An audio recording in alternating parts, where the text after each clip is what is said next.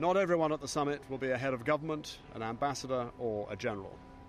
We can also expect to see large numbers of peace campaigners demonstrating against NATO. George Galloway, MP, is vice president of the Stop the War movement. This is a Cold War alliance. Its day has gone. There are no Russian armies about to uh, pour across the steppe. Russia is a capitalist democracy like all the other capitalist democracies.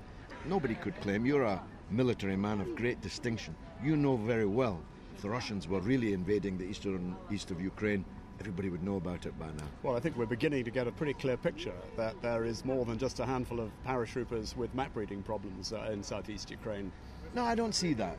Well, let, us just turn this, this around a little bit and look at it from the perspective of some of the newly joined member states of, of NATO, in particular the Baltic states. Now, these three states uh, were occupied by the Soviet Union for 50 years. Would you not think it reasonable for them to sign up to, the, to an alliance that guarantees them their defense collectively? These small republics have a right, of course, to uh, independent political development.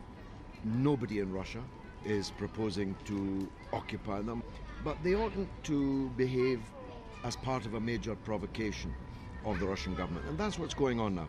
These countries are of great importance to you. I'm bound to tell you they're not of great importance to most people in Britain.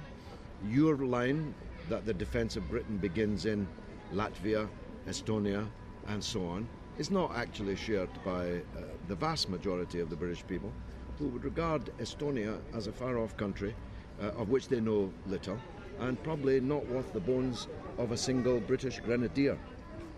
The truth is, if we went to war with Russia, everybody listening to this program would turn to dust and a nuclear winter would descend upon our country.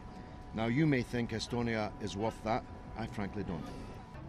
I'm absolutely with George Galloway. It would be wonderful to abolish war.